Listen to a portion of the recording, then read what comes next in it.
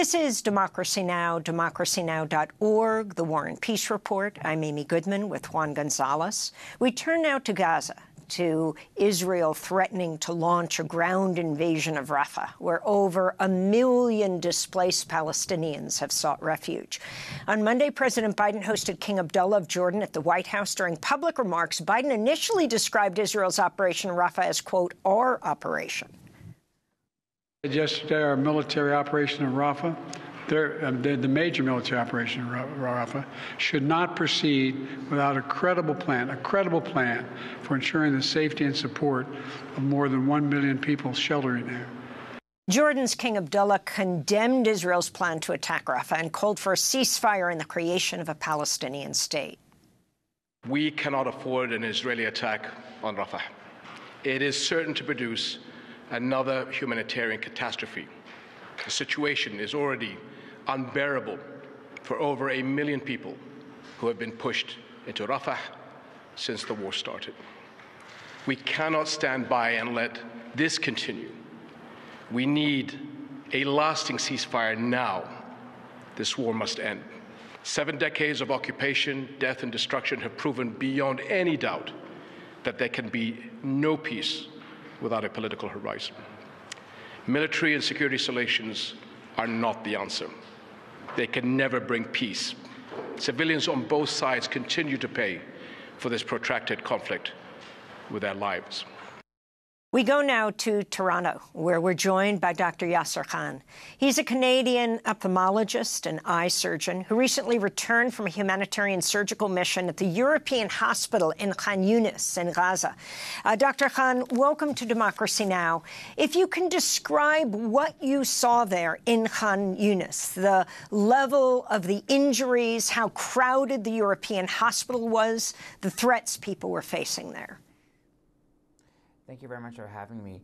Well, you know, I, I look at the impending um, invasion of Rafah and uh, the attacks on Rafah, and I know because I've seen it, I know what's going to happen. I know the casualties, and I know how much worse it's going to get. When I was in Khan Yunis a few weeks ago, it, I've I've been to over 40 different countries, um, you know, doing humanitarian work uh, anywhere from uh, in Africa, Asia, and uh, South America, and there, uh, what I saw in Khan Yunis were the most horrific scenes in my entire life, and, and I hope I never see them again. It was it was just, you know, the bombings were going on every few hours at that point in time. The Israeli forces were about a kilometer away, and the mass casualties kept on coming in. And it was mostly, I mean, the majority of, of the patients that I treated were children, anywhere from the age of 2 to 17. I mean, I saw horrific eye and facial injuries that I've never seen before. Uh, eyes shattered in two six-year-old uh, children with uh, with shrapnel that I had to take out. Eyes with with shrapnel stuck inside. Uh, facial injuries. I saw orthopedic injuries where you know limbs just cut off and dangling. I saw abdominal injuries that were just horrific, and it was just mass chaos. There's children on the floor, unattended to uh, with head trauma, uh, people suturing patients without anesthesia on the ground.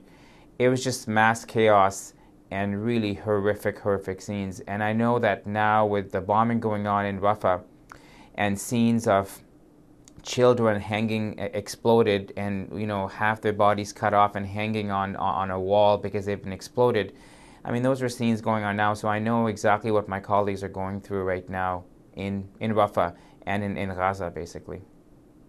And, and doctor, uh, you you were working shifts of 12 to 13 hour days. Can you talk about the conditions of the medical staff and the doctors you worked alongside with? Uh, where did you uh, where did you sleep? How, how, were you able to eat? Can you talk about those conditions you faced? Yeah. Well, the doctors were amazing. I mean, the Palestinian doctors were amazing. Their dedication and their will to to resist dying and staying alive was amazing. They're very talented, but they have nothing. There was no antibiotics. Uh, there was no painkillers. On the last day I was leaving, we ran out of morphine, which is very important in a lot of orthopedic injuries.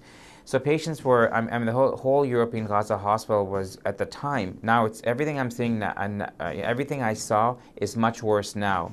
But basically, it was overcrowded. uh, about three, four hundred percent over capacity. was patients and bodies lying all over the hospital floor, inside and outside. They had orthopedic devices coming from their from their legs or their or their arms. Um, they were getting infected. They're in pain because they're on the floor, so the conditions weren't very sterile. And if they survived amputation the first time, the infection would get them because then they, would have to be amputated after. A lot of the kids that I saw, and, and more than 60% of the patients I saw were children. They're thin. Um, they had no fat on them. They're starving because, as you know, Israel has had a um, has had a food blockade since this uh, war on Gaza started, and so they're all thin with no fat, starving, and they're coming in, and um, you know, it was it was just and and we don't have we didn't have enough supplies, enough gauze, enough antibiotics, enough instruments. Even the instruments are are rusting to kind of you know deal with with, with the mass trauma. Dr. I Khan, stayed in the hospital. Yeah, Dr. Sure. Khan, this is Democratic Senator Chris Van Hollen of Maryland speaking Monday ahead of a vote on the $95 billion aid package to Israel, Ukraine, and Taiwan. Madam President, I want that to sink in kids in Gaza are now dying from the deliberate withholding of food. In addition to the horror of that news, one other thing is true. That is a war crime. It is a textbook war crime.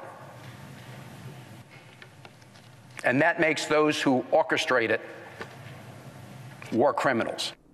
That's Democratic Senator Chris Van Hollen on the floor of the U.S. Senate. Dr. Khan, you're talking about the thinness of the children, of the whole population.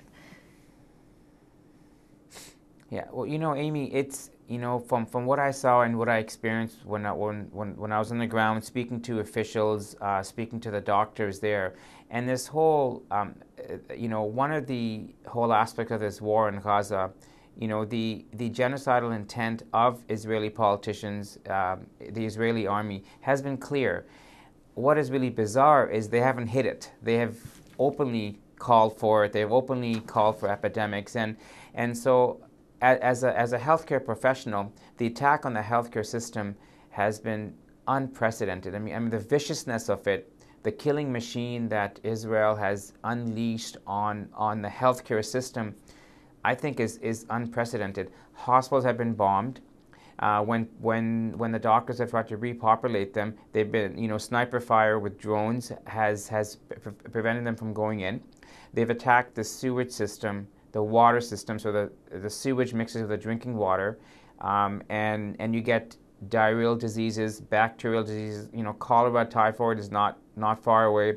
Hepatitis A is epidemic there now. They're living in cramped spaces. They have uh, killed over 300 or 400 healthcare workers. Uh, doctors, nurses, paramedics, ambulances have been bombed. This has all been a systematic sort of, you know, um, uh, you know, uh, uh um, by destroying the healthcare system, you're contributing to the genocide. Uh, what's going on is now there's 15, 10 to 15,000 bodies that are decomposing. So it's raining season right now in Gaza. So all the rainwater uh, mixes with the decomposing bodies, and that bacteria mixes with the drinking water supply, and you get further disease. They have kidnapped about 40, 45 doctors uh, that have been specifically targeted. They've targeted specifically specialists who were, you know, one-off. So like the one nephrologist in the Gaza Strip was targeted. Um, the pathologist, uh, hospital chiefs, and, and directors have all been targeted through drones or, or targeted missile strikes. And, you know, so the whole thing is that if the bombings are not going to get you, then disease will surely get you because they're all malnourished. So, as you know, if you're malnourished, your immune system is weaker, so you're more susceptible to disease, but there's no antibiotics. You know, the, the amount of amputations I saw, um, you know, in children, for example, uh, both arms, one arm, one leg, both eyes gone you know, both eyes amputated basically out of their um, eye socket. You know, it's it's it's amazing. I mean, it takes about, you know, if if this was done properly in a non-war scenario, uh, you know, one amputation in, in a child, a child will need about nine to twelve surgeries by the time they're an adult, you know, for prosthetic fitting and whatnot. Now, in this case, first of all, it's a war situation. They've not been done properly. Fair enough, because you have to rush it.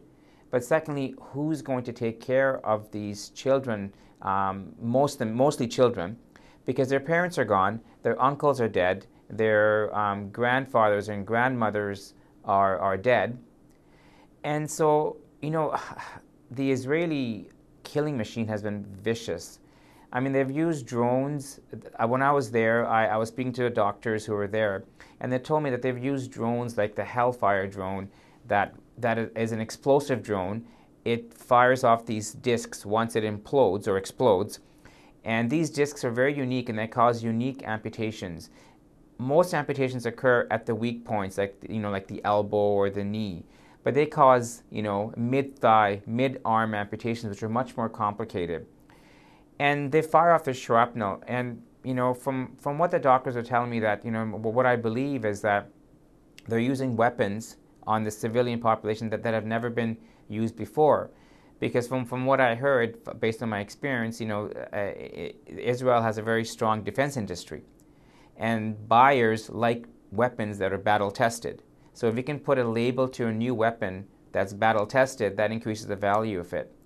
And they're experimenting with these weapons from, from what I've heard and from what I saw um, in a civilian dense population. So it's just. Um, it's it's been vicious, really, really vicious. Dr. Yasser Khan, I want to thank you for being with us. Canadian ophthalmologist, eye surgeon based in Toronto, Canada, just recently returned from a humanitarian surgical mission at the European Hospital of Khan Yunis in Gaza.